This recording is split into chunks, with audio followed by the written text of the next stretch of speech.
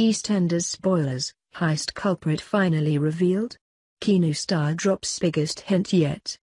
EastEnders viewers have been left guessing as to who has the stolen New Year's Day heist money, but one star of the show may have just revealed who the real culprit is.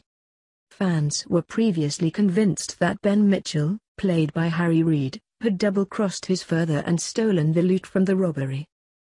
But when he fled Walford to start a new life on the continent, Ben's case was full of newspapers and he only had a small envelope of money. Now, Danny Walters, who stars as Keanu Taylor in the BBC soap, has promised the reveal will take place very soon and viewers will be stunned when they find out who has the cash. Speaking exclusively to Express.co.uk, the actor teased, Everyone is questioning each other over who could potentially have the money that was stolen from Aidan, and so it's basically exploring and discovering who has the money, which you will find out very soon. It could be anyone. It could be any of the guys or it could be anyone of the square. It's definitely one to look out for and watch. It will explode.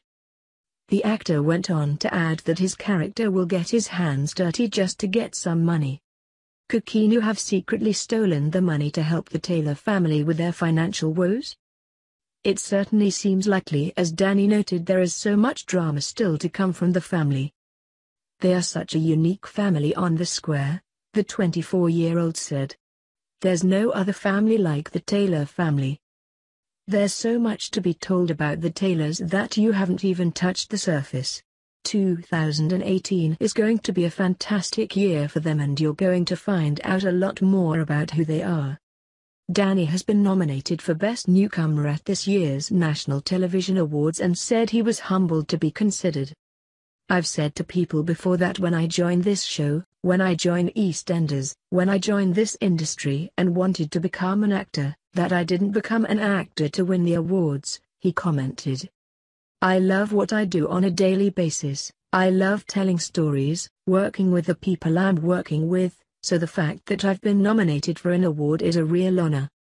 It's nice to know that what I'm doing is getting that recognition. It's just a fantastic feeling, stick feeling.